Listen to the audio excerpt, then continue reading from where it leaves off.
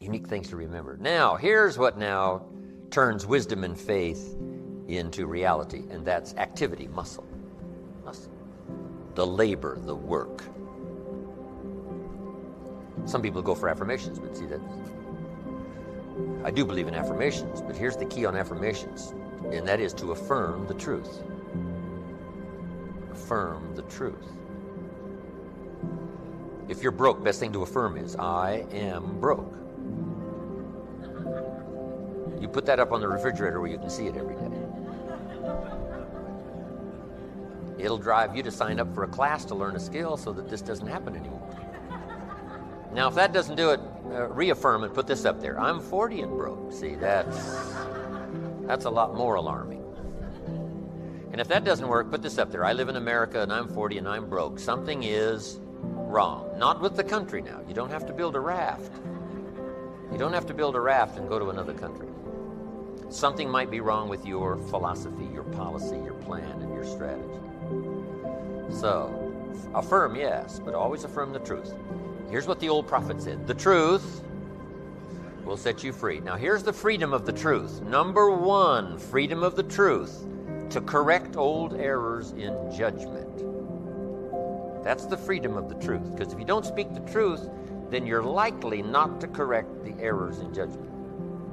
If something's wrong, but you say, hey, it's fine, it's fine, it's fine, how are you going to correct the errors in judgment that made it wrong? See, you can't say it's fine, it's fine, it's fine, and finally it turns out to be fine. Say, no. The only way to go from wrong to fine is not by affirmation.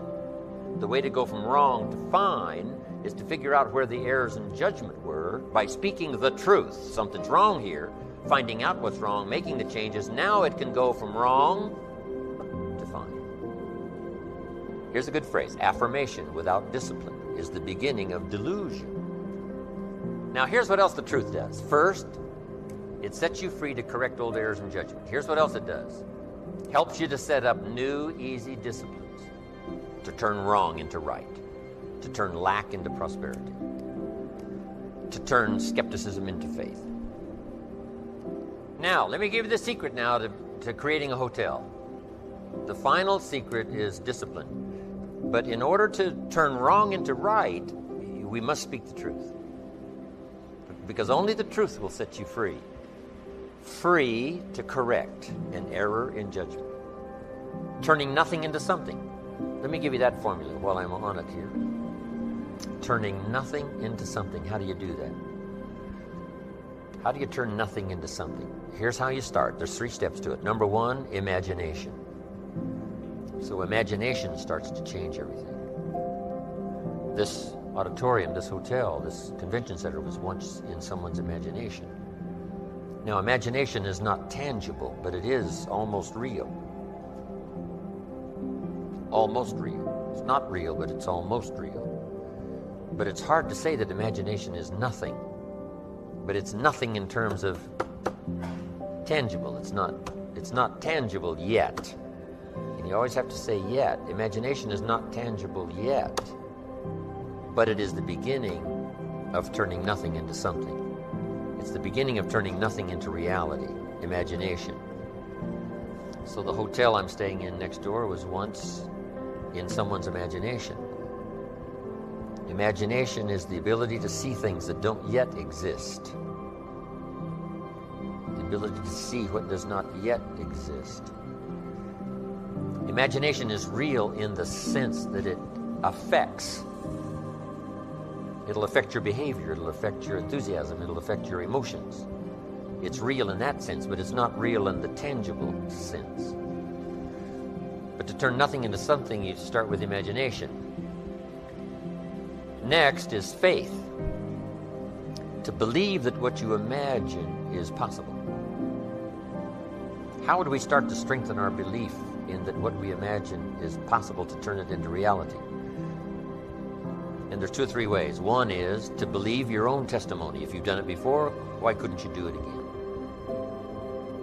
If you've done it once, couldn't you do it the second time? Why not believe in your own testimonial?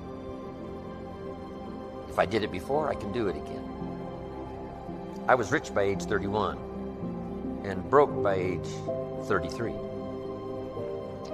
So now, and I'll talk about that tomorrow when we talk about financial independence. But now, my question was, could I do it again? And the answer was, yes, of course. You know, I lost the money, but I didn't lose the skills. And that's what's important about personal development. You can lose the money, but not the skills, so who cares about the money? Unless it's getting late, right? And you're like 90, and, you know, it's a little difficult to go back to the streets, but hey, once you've got the skills, you own the skills. It's like sales. A skill is more valuable than a sale. Someone, sometimes a salesperson says, I need a sale. I said, no, you need a skill. Sales are temporary, skills are permanent.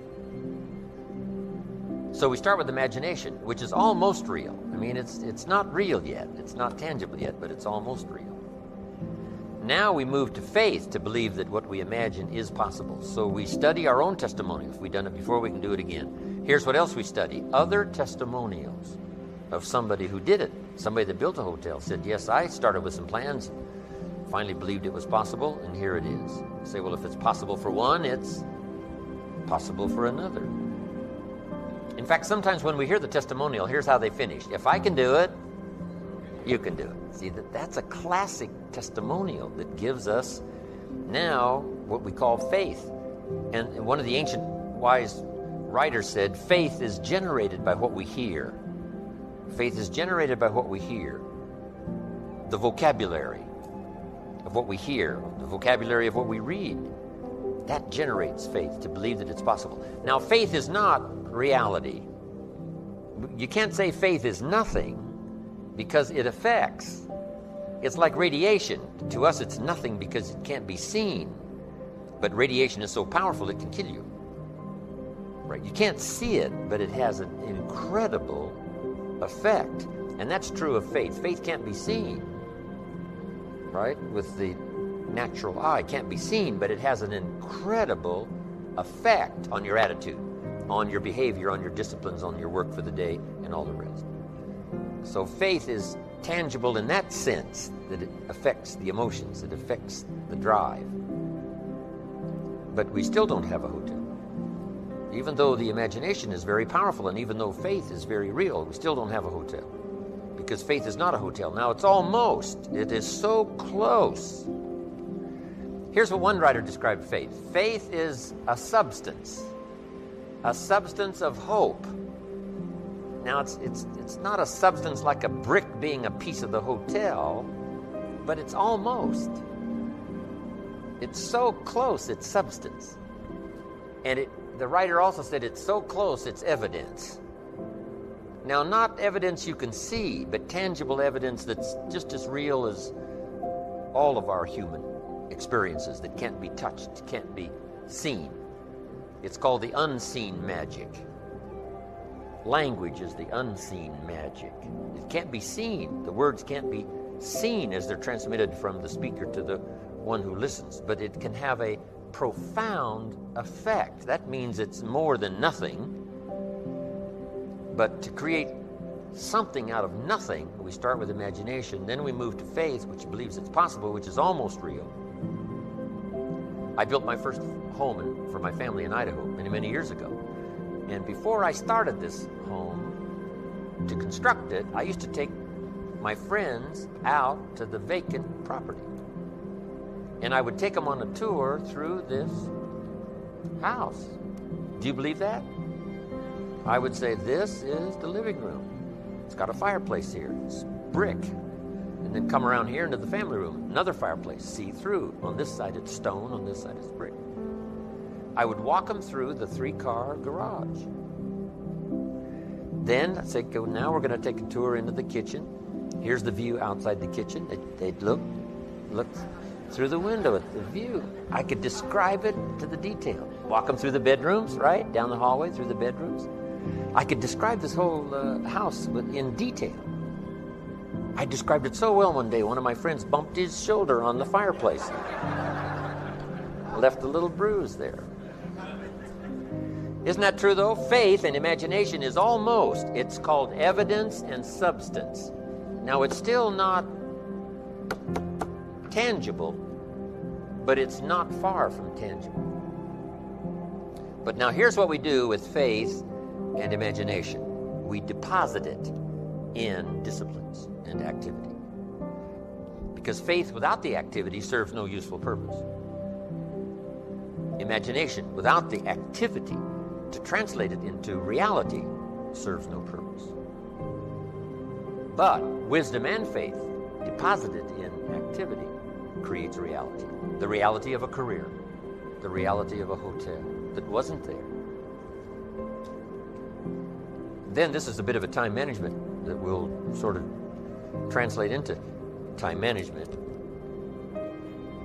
And the question goes like this When should you start building the hotel? That you've imagined and now believe that it's possible. When should you start? And here's the answer as soon as you have it finished. Just got to remember that. You wouldn't start building a hotel unless you had it finished.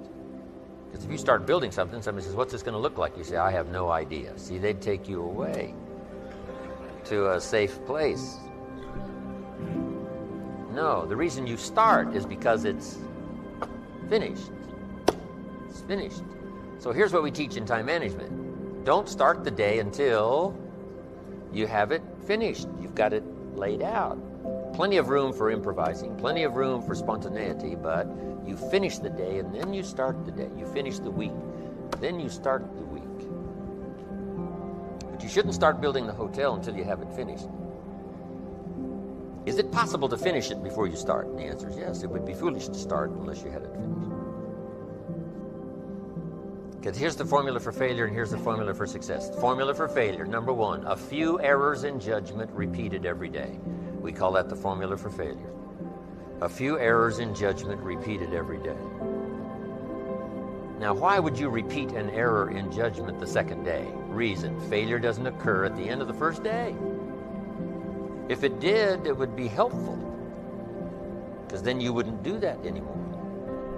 But errors in judgment are so subtle because they don't usually show their results until for a while. But a few errors in judgment repeated every day, every day, every day, and sure enough, you're way off course. Now, here's all you got to do is to turn that around. A few simple disciplines practiced every day. A few simple disciplines practiced every day starts to create success. Not at the end of the first day. The first day is the end of a new beginning. First day. That you've started a new track, that you've started a new direction. So we must all speak the truth. So affirm the truth. Yes, affirm God is good. Yes, affirm life is full of possibilities. Yes, affirm all the truthful possibilities. But you don't need to try to trick yourself into saying something is okay when it isn't okay. Some people say every day in every way I'm getting better and better. And if that's not true, see, that, that we call that delusion. If it's not true. If it is true, then it's wonderful. It's fabulous. We should celebrate.